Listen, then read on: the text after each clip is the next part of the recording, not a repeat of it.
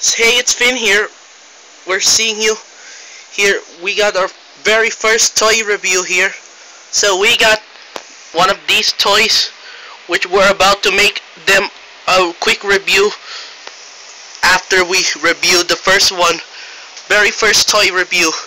Here it is, the very first and second Funko Jollibee toys.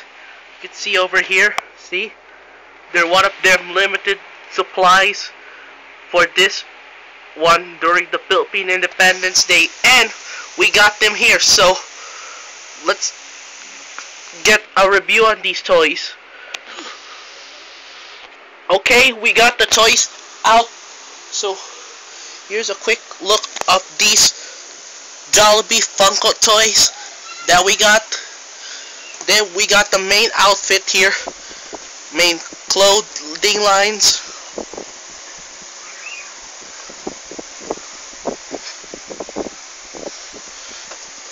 and we got the Philippine Independence Day exclusive.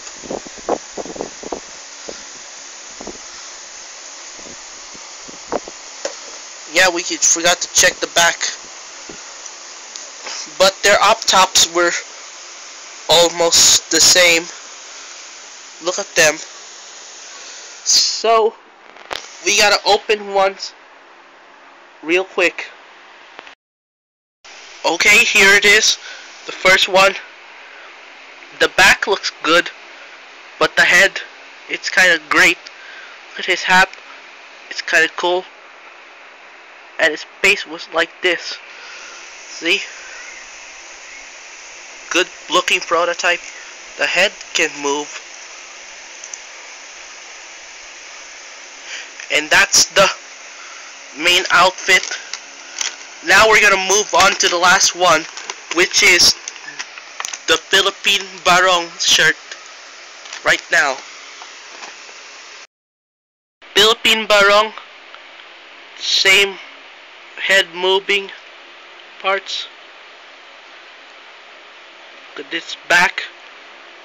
It's cool. This one has released it. Then so we got them here. So here's the Barong. So this toys that we got it's the Funko Jollibee. So we got them here right there. So which means it is for display purposes. So we're gonna move them back right away.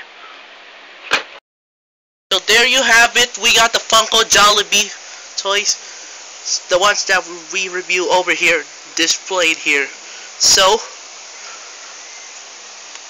Tell us what you like about this on the comments below and we'll see you next time. By the way, we got the next toy reviews we're going to review.